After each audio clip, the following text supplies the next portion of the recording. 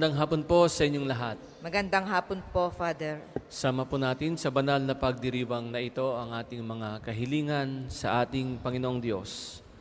Ang misa pasalamat para sa kaarawan ni Reverend Father Lino Sarte, MF. At para po sa kaluluwa ni na Bishop Victor Ocampo at Gianna Linda Brinas at para sa lahat ng kaluluwa sa purgatorio.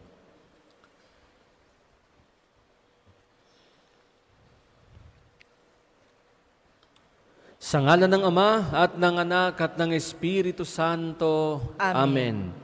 Ang pagpapala ng ating Panginoong Heso Kristo, ang pag-ibig ng Diyos Ama, at ang pagkikipagkaisa ng Espiritu Santo naway sumainyong lahat. At sumayin niyo rin. Mga kapatid, aminin natin ang ating mga kasalanan upang tayo maging marapat gumanap sa banal na pagdiriwang. Inaamin ko sa makapangyarihang Diyos at, sa inyo, mga kapatid, na lubha akong nagkasala sa isip, sa salita at sa gawa, at sa aking pagkukulang. Kaya isinasamo ko sa mahal na Berheng Maria, sa lahat ng mga anghel at mga banal, at sa inyo mga kapatid, na ako'y panalangin sa Panginoong ating Diyos. Kawaan tayo ng makapangyarihang Diyos, patawarin tayo sa ating mga kasalanan at patnubayan tayo sa buhay na walang hanggan. Amen.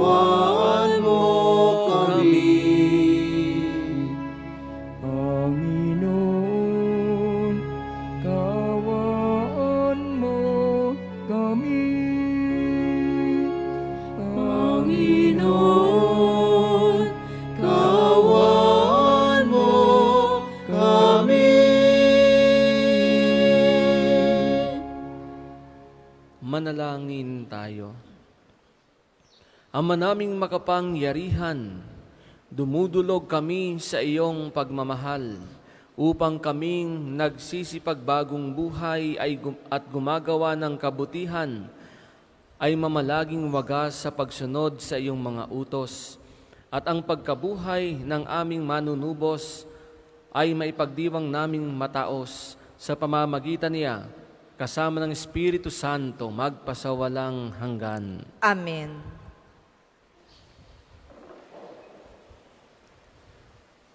Pagbasa mula sa aklat ng Exodo. Noong mga araw na iyon, sinabi ng Panginoon kay Moises, Balikan mo ngayon din ang mga Israelitang inalis mo sa Ehipto, naroon at nagpapakasama. Tinalikdan nila agad ang mga utos ko. Gumawa sila ng guyang ginto. Iyon ang sinasamba nila ngayon at hinahandugan. Ang sabi nila iyon ang Diyos na nag-aalis sa kanila sa Ehipto. Kilala ko ang mga taong iyan at alam kong matigas ang kanilang ulo. Kung gusto mo, lilipudin ko sila at sa iyo ko pagmumulain ang isang malaking bansa. Nagsumamo si Moises sa Panginoon, Huwag po, huwag ninyong lilipulin ang mga taong inalis ninyo sa Ehipto sa pamamagitan ng inyong kapangyarihan. Kapag nilipol ninyo sila, masasabi, masasabi ng mga Ehipsyo na ang mga Is- Israelitay inalis ninyo sa Ehipto upang lipulin sa kabundukan. Huwag na po ninyong magalit sa kanila at huwag na ninyong ituloy ang inyong balak laban sa kanila. Alalahanin ninyo ang mga lingkod ninyong sina Abraham, Isaac at Jacob. Ipinangako ninyo sa kanila na ang lahi nila'y pararamihin tulad ng mga bituin sa langit at magiging kanila habang panahon ang lupaing ipinangako ninyo. Hindi nga itinuloy ng Panginoon ang balak na lipulin ah, sa mga Israelita. Ang salita ng Diyos. Salamat sa Diyos. Ang tugon po sa salmo, Panginoong masintahin, ang bayan mo'y gunitain. Panginoong masintahin, ang bayan mo'y gunitain. Sabay bundok ng Horeb, doon ay naghugis niyong gintong baka. Matapos mahugis, ang ginawa nila ay kanilang sinamba. Ang dakilang Diyos ay ipinagpalit sa Diyos na, dinik, sa di, Diyos na nilikha, sa Diyos na baka na ang kinakain ay damong sariwa. Panginoong masintahin, ang bayan mo'y gunitain. Kanilang nilimot ang Panginoon Diyos, ang tagapagligtas, na yaong ginawa doon sa Ehipto'y kagilagilalas. Sa lupaing iyon, ang ginawa niya ay tunay na himala. Sa dagat na tambo, yaong nasaksihan ay kahanga-hanga. Panginoong masintahin, ang bayan mo'y gunitain. Ang pasya ng Diyos sa ginawa nila ay lipulin pagdaka. Agad na dumulog sa puon, sumuises na magitan siya.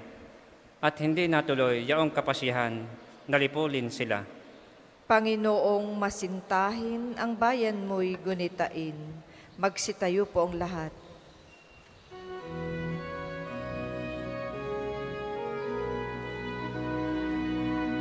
Pag-ibig sa sanlibutan ng Diyos ay gayon na lamang Kanyang anak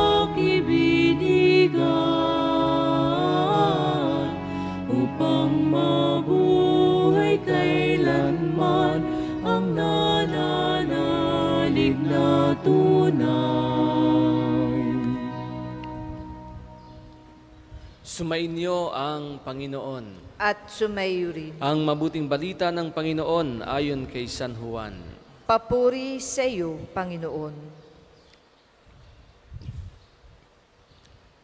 Noong panahong iyon, sinabi ni Jesus sa mga Hudyo, Kung ako lamang ang nagpapatotoo tungkol sa aking sarili, huwag ninyong tanggapin. Ngunit may ibang nagpapatotoo tungkol sa akin, at totoo ang kanyang sinasabi. Nagpasugo kayo kay Juan, at nagpatotoo siya tungkol sa katotohanan. Hindi sa kailangan ko ang patotoo ng tao. Sinasabi ko lamang ito para maligtas kayo. Si Juan ay parang maningas na ilaw na nagliliwanag noon at kayo'y sandaling nasiyahan sa kanyang liwanag. Ngunit may patotoo tungkol sa akin na higit sa patotoo ni Juan, ang mga gawang ipinagagawa sa akin ng Ama at siya ko namang ginaganap. Iyan ang nagpapatotoo na ako'y sinugo niya. At ang amang nagsugo sa akin ay nagpapatotoo rin tungkol sa akin. Kailan may hindi ninyo narinig ang kanyang tinig at nakita ang kanyang anyo.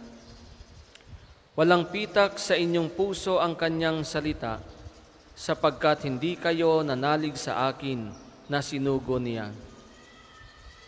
Sinasaliksik ninyo ang mga kasulatan sa paniwalang doon ninyo matatagpuan ang buhay na walang hanggan. Ang mga ito ang nagpapatotoo tungkol sa akin Ngunit ayaw naman ninyong lumapit sa akin upang kayo'y magkaroon ng buhay. Hindi ako naghahangad ng parangal ng mga tao, ngunit kilala ko kayo. Alam kong wala kayong pag-ibig sa Diyos. Naparito ako sa ngalan ng aking Ama, at ayaw ninyo akong tanggapin kung may ibang pumarito sa kanyang sariling pangalan, siya'y inyong tatanggapin. Ang hinahangad ninyo'y ang parangal ng isa't isa at hindi ang parangal na nanggagaling sa iisang Diyos. Paano kayong makapaniniwala? Huwag ninyong isiping ako ang magsasakdal sa Ama laban sa inyo. Si Moises na inaasahan ninyo ang siyang maghaharap ng sakdal laban sa inyo. Kung talagang pinaniniwalaan ninyo si Moises, ako'y paniniwalaan din sana ninyo, sapagkat sumulat siya tungkol sa akin. Ngunit kung hindi ninyo pinaniniwalaan ang mga sulat niya, paano ninyong paniniwalaan ang mga sinasabi ko? Mga kapatid, ang mabuting balita ng Panginoon. Pinupuri ka namin, Panginoong Heso Kristo. Magandang hapon pong muli sa inyong lahat. Ngayon po ay tayo ay nasa ikaapat sa Webes ng ikaapat na linggo ng paghahanda, na apat na pong araw na paghahanda para sa muling pagkabuhay ng ating Panginoong Hesus. At mainit po ang panahon, kaya siguro'y nananamlay kayo. Ayan. Sana ganyan din maramdaman ninyo ang init ng pagmamahal ng Diyos sa atin. Mga minamahal ko mga kapatid, gusto nyo ba na lagi kayong pinapansin, gusto nyo ba na lagi kayong pinararangalan, pinupuri? Eh, paano kung hindi? Paano kung hindi napapansin ang mga nagagawa mong kabutihan? Paano kung hindi nila nabibigyang halaga ang effort mo? Paano kung hindi napansin na bagong reband ang iyong buhok? O di kaya'y hindi napansin na bago at mamahalin ang suot mo, malulungkot ka, sasama ang loob mo. Eh, kung ganun, eh, di hindi na masaya. Ano? It is very human for us to long for attention, love, and appreciation. But the reality is, whatever we do, we cannot please everybody. At hindi lahat ng ginagawa nating kabutihan ay makikita at pahahalagahan ng iba. Sa araw na ito, mayroong paalala sa atin ang ating Panginoong Hesus. Sinabi niya sa ating Ebanghelyo, Hindi ako naghahangad ng parangal ng mga tao. Ang tanging hinahangad ni Jesus ay matupad ang kalooban ng Ama kahit hindi siya tanggap ng iba, kahit ipagtabuyan pa siya, kahit tuyain pa siya ng iba, kahit ikapapahamak niya, ayos lang, maganap lamang ang kalooban ng Ama. At ang kanyang mga ginagawang kabutihan ay nagpapatotoo sa kanya bilang sinugo ng Ama. Ito rin ang nais niyang gawin ng bawat isa sa atin bilang kanyang mga tagasunod na sa ating buhay, ang hangarin lagi natin ay ang masunod ng kalooban ng Diyos. Ang gumawa ng mabuti, ang gawin ang tama upang kalugdan tayo ng Diyos. Ang Diyos na nakakikita ng lahat nating ginagawa, lantad man yan o lihim. Kaya kahit hindi makita ng ibang tao ang kabutihang ginagawa mo, kahit hindi pinahalagahan ng iba ang iyong kasipagan at ang iyong pagsusumikap, sige lang, sapagkat nakikita ng Diyos ang iyong ginagawa at siya na ang bahalang gumaw, maggawad sa iyo ng iyong gantimpala. Huwag nating isasakripisyo ang ating pananampalataya, ang ating mga prinsipyo para lamang sa pwesto, para lamang parangalan at purihin ng mga tao. Ang ating laging hahangarin ay ang kalugdan tayo ng Diyos dahil sa ating pagsunod, pagsasakripisyo at pagsusumikap na maging mabuting tao. At ito yung laging hamon sa atin ngayong panahon ng kwaresma.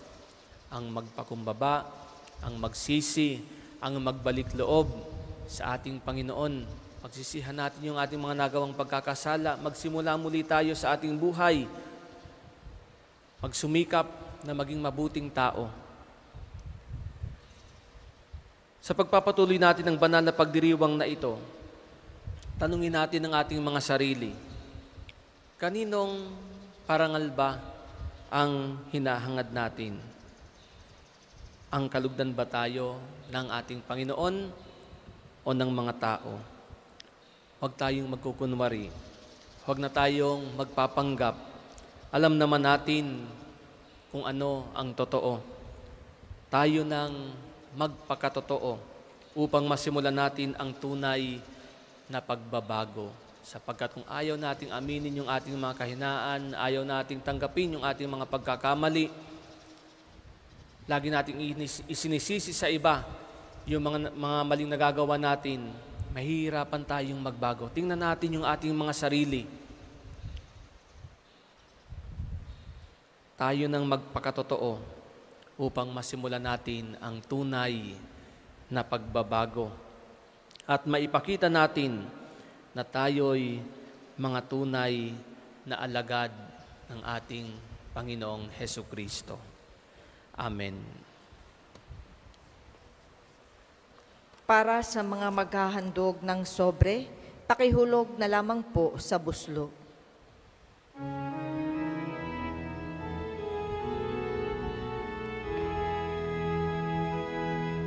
Sa'yo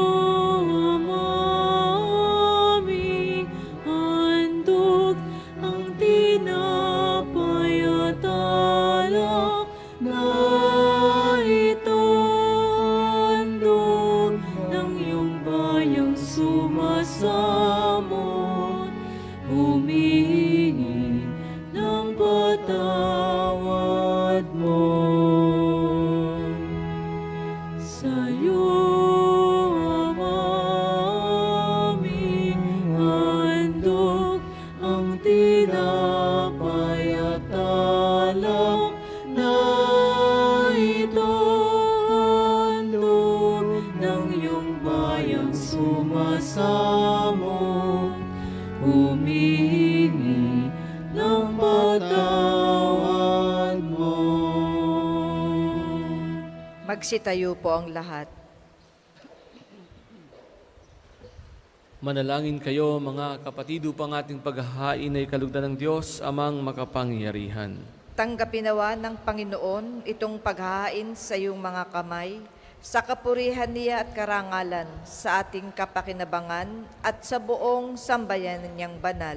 Ama naming lumikha sa aming paghahain ng mga alay na ito, kami naway dalisayin sa aming kahinaan at patibayin nawa sa iyong kakayanan sa pamamagitan ni Heso Kristo kasama ng Espiritu Santo magpasawalang hanggan. Amen. Sumainyo ang Panginoon. At sumayo rin. Itaas sa Diyos ang inyong puso at diwa. Itinaas na namin sa Panginoon. Pasalamatan natin ang Panginoong ating Diyos. Marapat na siya ay pasalamatan. Ama naming makapangyarihan, tunay ngang marapat na ikaw ay aming pasalamatan sa pamamagitan ni Heso Kristo na aming Panginoon. Sa aming kusang pagtitiis ng hirap, tinutulungan mong aming maitumpag ang kinamihas ng pagsalungat sa pananagutang iyong iniatas.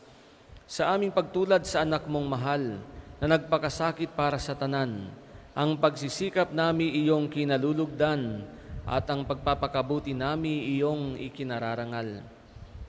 Kaya kaisa ng mga anghel na nagsisiawit ang papuri sa iyo ng walang humpay sa kalangitan, kami nagbubunyi sa iyong kadakilaan.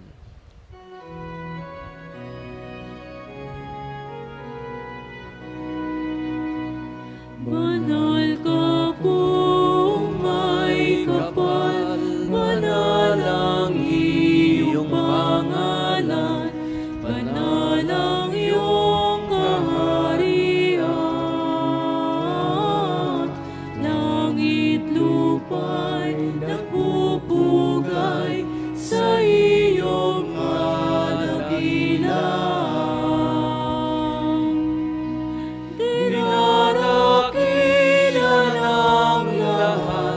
ang naparito mong anak na siyang nagmulat sa bulat. Sa pilay ay nagpalakad at nakiramay salam. Kung hindi kayang lumuhod, manatili pong nakatayo ng may paggalang. Ama naming banal, ikaw ang bukal ng tanang kabanalan, kaya't sa pamamagitan ng iyong Espiritu, gawin mong banal ang mga kaloob na ito upang para sa amin maging katawan at dugo ng aming Panginoong Heso Kristo. Bago niya pinagtiis ang kusang loob na maging handog, hinawakan niya ang tinapay, pinasalamatan kanya, pinaghati-hati niya iyon, iniabot sa kanyang mga alagada at sinabi, Tanggapin ninyong lahat ito at kanin. Ito ang aking katawan na ihahandog para sa inyo.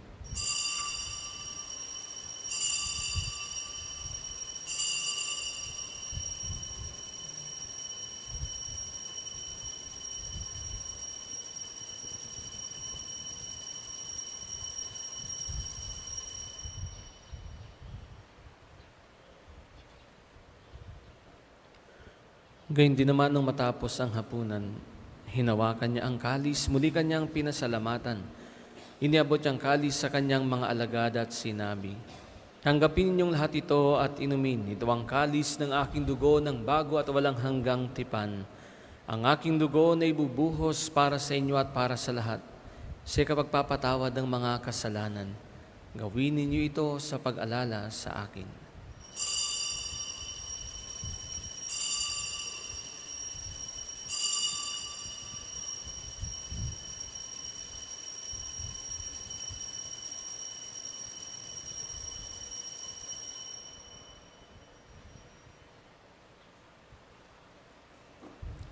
Ipagmuni natin ang misteryo ng pananampalataya. Si Kristo'y namatay, si Kristo'y nabuhay, si Kristo'y babalik sa wakas ng panahon. Ama, ginagawa namin ngayon ang pag-alala sa pagkamatay at muling pagkabuhay ng iyong anak, kaya't iniaalay namin sa iyo ang tinapay na nagbibigay buhay at ang kalis na nagkakaloob ng kaligtasan.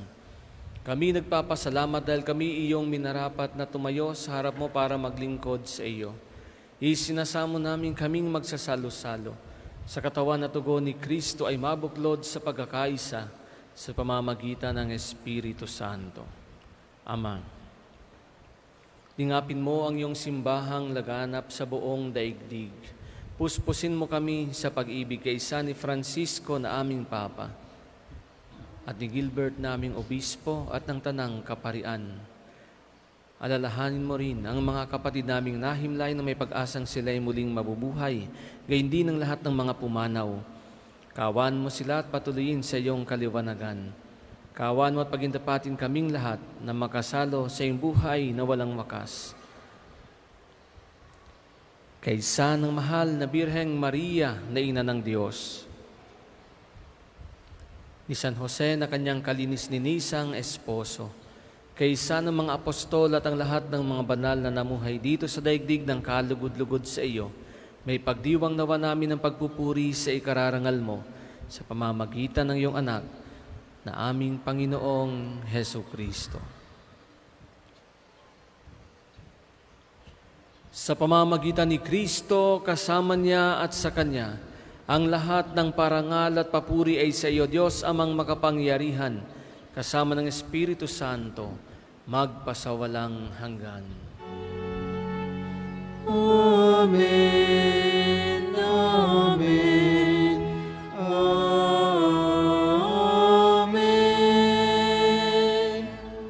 Magsitayo po ang lahat. Sa tagubili ng mga nakagagaling na utos at turo ni Jesus na Panginoon natin at Diyos, ipahayag natin ang lakas loob. Ama namin, sumasalangit ka, sambahin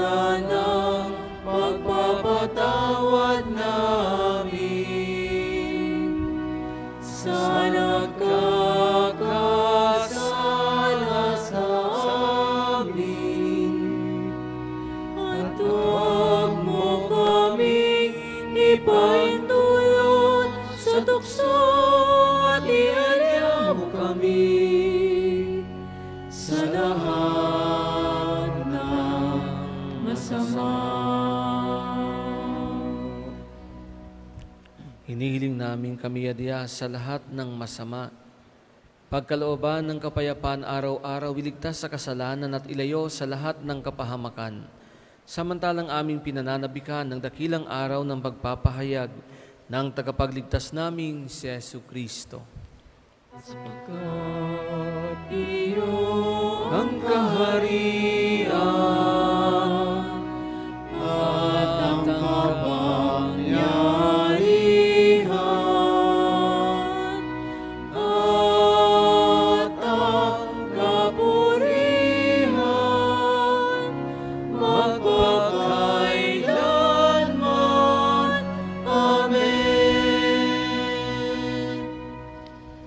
Panginoong Heso Kristo, sinabi mo sa iyong mga apostol, Kapayapaan ang iniiwan ko sa inyo, ang aking kapayapaan ang ibinibigay ko sa inyo. Tunghayan mo ang aming pananampalataya at huwag ang aming mga pagkakasala. Pagkalooban mo kami ng kapayapaan at pagkakaisa ayon sa iyong kalooban. Kasama ng Espiritu Santo, magpasawalang hanggan. Amen. Ang kapayapaan ng Panginoon ay laging sumainyo. At sumayo rin. Magbigayin kayo ng kapayapaan sa isa't isa. Peace be with you. Peace, peace. Kordero ng Diyos na nag-aalis ng mga kasalanan ng sanlibutan, maawa ka sa amin. Kordero ng Diyos na nag-aalis ng mga kasalanan ng sanlibutan, maawa ka sa amin. Kordero ng Diyos na nag-aalis ng mga kasalanan ng sanlibutan, ipagkaloob mo sa amin ang kapayapaan. Kung hindi kayang lumuhod, manatili pong nakatayo ng may paggalang.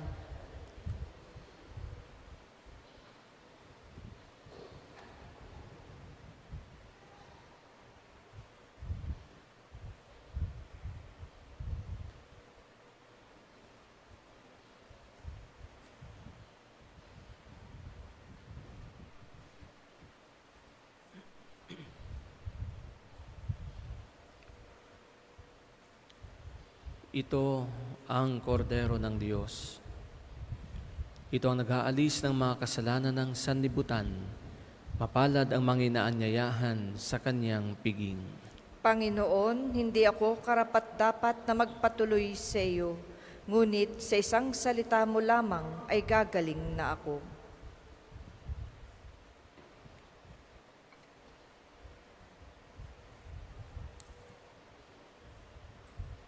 Ang katawan ni Kristo.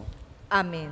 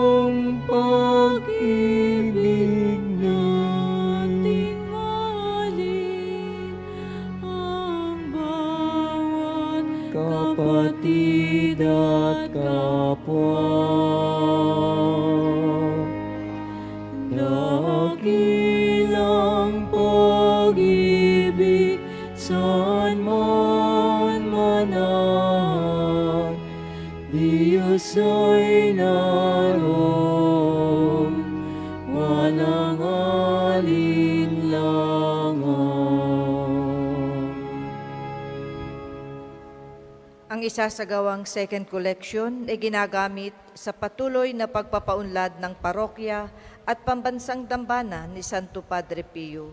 Salamat po sa inyong handog. Iwasan lang lahat ng pagkapuot,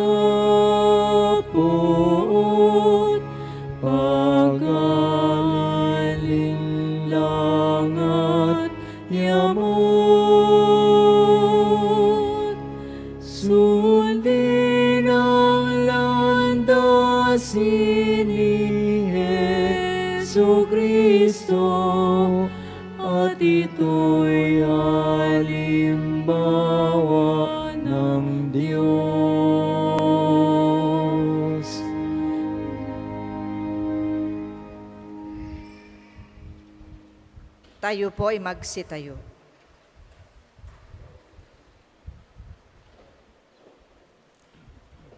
Manalangin tayo. Ama naming mapagmahal, ang tinanggap naming banal na pakikinabang ay siya nawang magpalaya sa amin sa kasalanan, upang ang dinadala namin sa budhi ay gumaan, at ang ganap na kagalingan ay aming makamtan. Sa pamamagitan ni Hesu Kristo kasama ng Espiritu Santo, magpasawalang hanggan. Amen. Panalangin ng pagtitiwala kay Santo Padre Pio. Tayo pong lahat. Padre Pio, taga Pietelchina, Mongheng Banal, Pintakasing Santo ng Milenyong Kasalukuyan, gabay namin sa pagtahak sa landasing makalangit, takbuhan sa pangangailangan, huwaran ng pagtitiis. Sa iyo namin inilalapit aming mga kagipitan. Sa iyo po ibinibilin kalusugan at kabuhayan.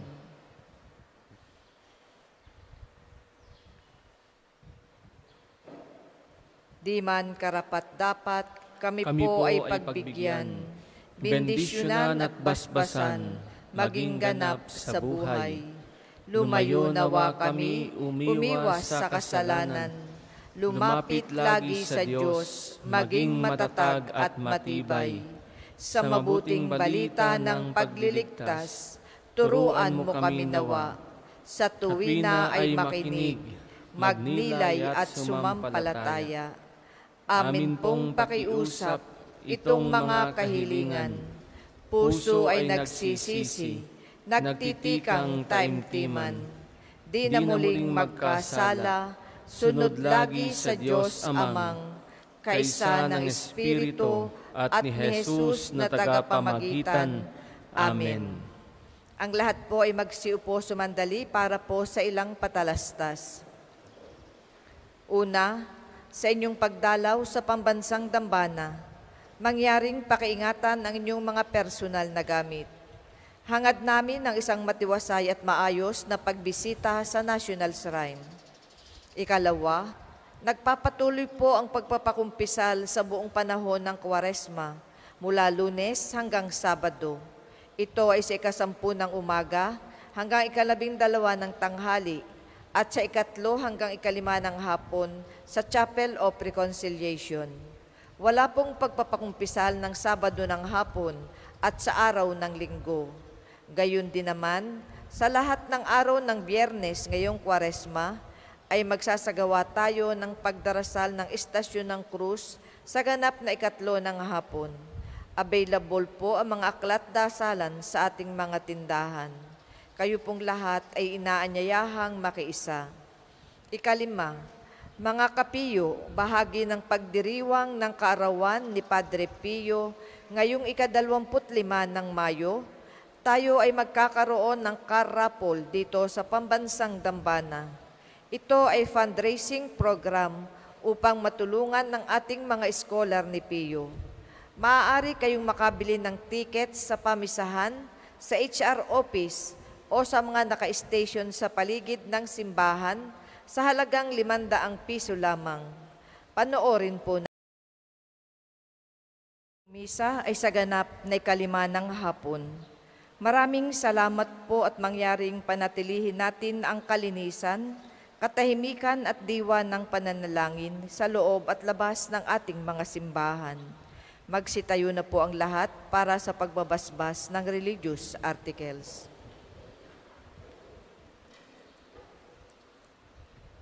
Mga kapatid, manalangin tayo sa Diyos amang makapangyarihan upang tayo ay maging kawangis ni Kristo sa taimtim na pagdalangin sa tulong ng mga larawan at dasalan. O Panginoong Diyos, Ikaw ang bukal ng lahat ng pagpapala at biyaya. Ibus mo ang iyong bendisyon sa mga gamit na ito sa pananalangin, mga rosaryo, imahen, dasalan, na nagpapaalala ng iyong kabutihan, kabanalan at pagmamahal sa amin, upang ang lahat na dumulog at magdasal gamit ang mga ito ay magtamo ng iyong awa at biyaya. Loobin mong tularan nila ang kabanalan at aral ng Panginoon at ng mga santo magpasawalang hanggan. Amen. Ama namin, sumasalangit ka, sambahin ang ngalan mo, mapasa amin ang kaharian mo, sundin ang loob mo dito sa lupa para nang sa langit. Bigyan mo kami ngayon ng aming kakanin sa araw-araw at patawarin mo kami sa aming mga sala para ng pagpapatawad namin sa nagkakasala sa amin at huwag mo kaming ipahintulot sa tukso at iadya mo kami sa lahat ng masama. Amen. Aba, Ginoong Maria, napupuno ka ng grasya. Ang Panginoong Diyos ay sumasa iyo. Bukod kang pinagpala sa babaing lahat, at pinagpala naman ng iyong anak na si Jesus. Santa Maria, Ina ng Diyos, ipanlangin mo kaming makasalanan, ngayon at kung kami mamamatay. Amen. Luwalhati sa Ama, sa Anak at sa Espiritu Santo, kapara nung una, ngayon at magpasawalang hanggan. Amen.